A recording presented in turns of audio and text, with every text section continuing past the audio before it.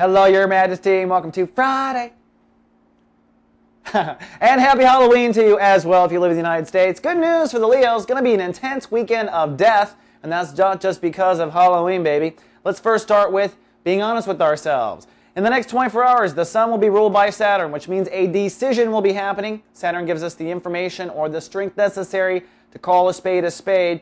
And the topic for you, Leo, is your foundation, your potting soil. There's something about the way you ground yourself, there's something about the way you mother yourself, there's something about the way you live and plant yourself to the earth that is not working. And it's time for you to be honest with yourself about what's not working. Now, you don't have to fix it right away. You don't have to have the solution. Those are the next two weeks. That's chapter two and chapter three. But in chapter one, it's time to be honest with yourself about what's not working in your potting soil. Maybe you're not getting enough sunlight.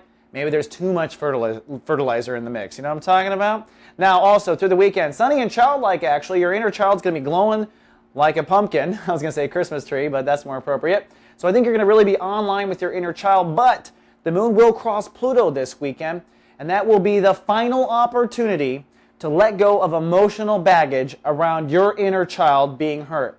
Now, I don't know a Leo out there that doesn't have a poor me somewhere in their consciousness about how their inner child didn't get what it wants didn't get the candy, didn't get the boy, didn't get the job, didn't get, didn't get, didn't get, did.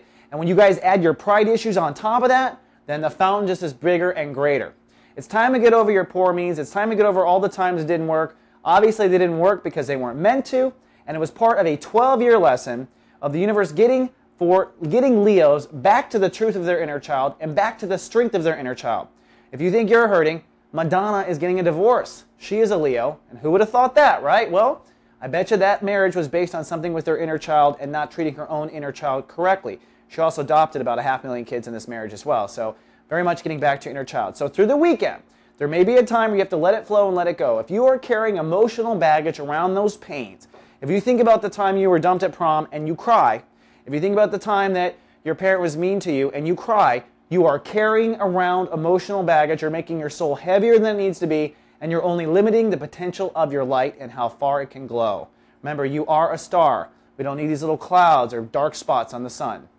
All right, Your Majesty, that's all I have. Be careful this weekend, for God's sakes, and I'll see you on Monday. Live, love, be. So